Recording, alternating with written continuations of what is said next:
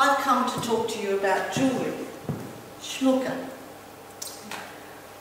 What it means to me, what I think it means to us, how it talks for us, and how it can change us. I was one of a group of girls. For us, life on the street was very dangerous. We were constantly on the lookout, and we used our jewellery to signal danger. The twist of a ring, the shifting of the ring from one finger to another.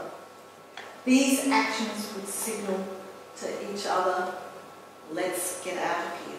By using the jewellery to store their own stories. How and why they came by the jewellery. Who gave it to them.